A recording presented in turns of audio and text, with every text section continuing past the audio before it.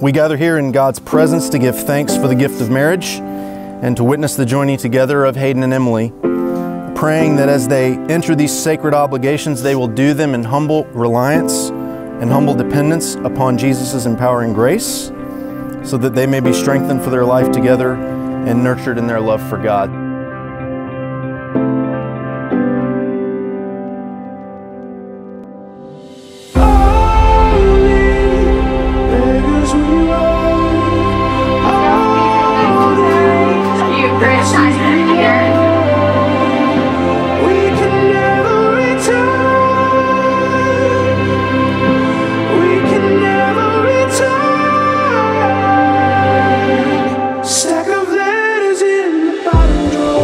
I feel like the Lord has given you so many gifts. And one of my favorite things about you is the way that you don't store up your gifts for yourself, but you use them obediently to love and serve the people in your life.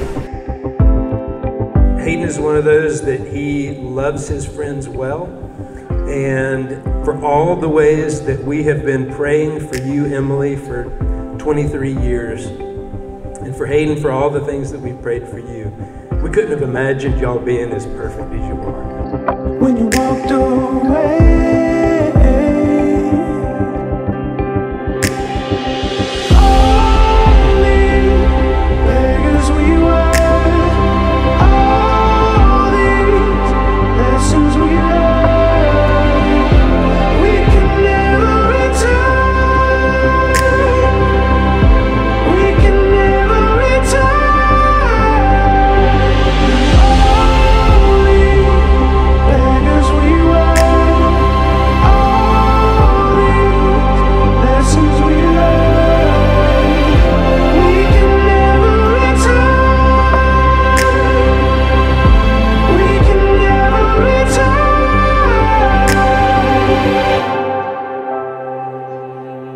Uh, by virtue of the authority committed to me by the Church of Jesus Christ, I now pronounce you husband and wife in the name of the Father and of the Son and of the Holy Spirit. As the Bible says, what God has joined together, let no man separate. Amen. Hayden, you can kiss your bride.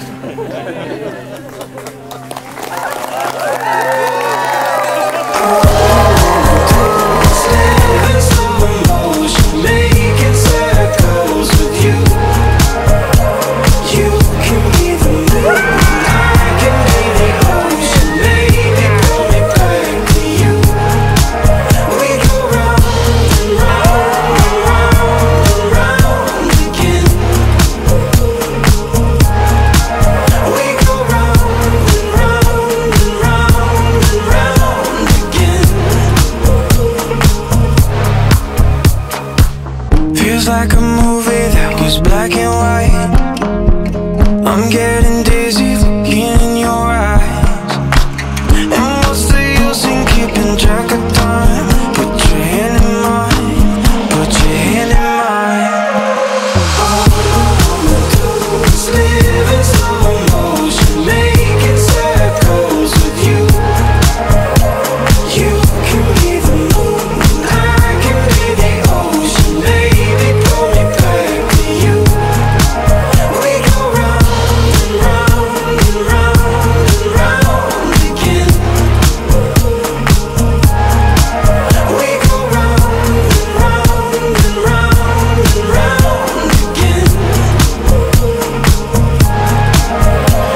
Emmy, you light up every room you enter with your beautiful smile. Your enthusiasm for life is contagious. Hayden, Kathy, and I are very proud to have you as our son in law. You also love the Lord, and we have grown to love you like one of our own.